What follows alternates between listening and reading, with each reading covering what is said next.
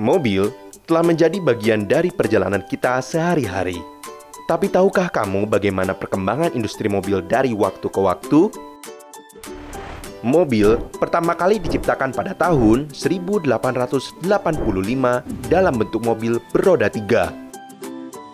Kemudian, pada awal abad ke-19, mobil mulai diproduksi dengan lebih cepat dan murah. Sehingga, moda transportasi ini tidak lagi hanya dapat dinikmati oleh kalangan tertentu saja. Dengan perkembangannya, pengalaman berkendara yang kita rasakan juga semakin aman dan menyenangkan. Kita bisa mendengarkan lagu favorit melalui radio ataupun Bluetooth dan memutar lagu pilihan sendiri dari smartphone. Berkendara kini juga lebih aman karena mobilmu telah dilengkapi seat belt, airbag, dan fitur lainnya seperti ABS dan EBD. Sudah di perjalanan, tapi tiba-tiba lupa jalannya yang mana. Tenang aja, karena kamu bisa menggunakan GPS di mobilmu sampai tiba di tujuan.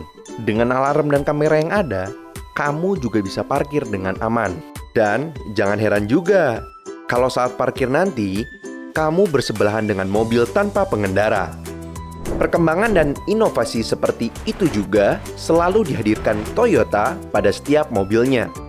Mulai dari perusahaan mesin pemintal hingga kini menjadi perusahaan otomotif terbesar di dunia, Toyota terus menghadirkan produk dengan inovasi-inovasi terdepan dan juga ramah lingkungan.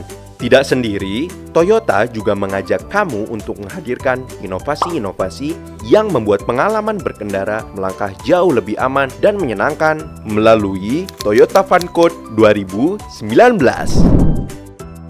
Dengan mewujudkan ide-ide besarmu lewat ajang ini, kamu bisa berkontribusi terhadap keamanan berkendara yang lebih terjamin, kepemilikan kendaraan yang lebih mudah, dan membuat pengalaman berkendara lebih menyenangkan dari sebelumnya.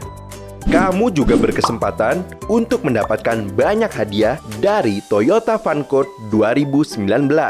Untuk mengetahui informasi lebih lanjut, kunjungi website www.toyotafuncode.id.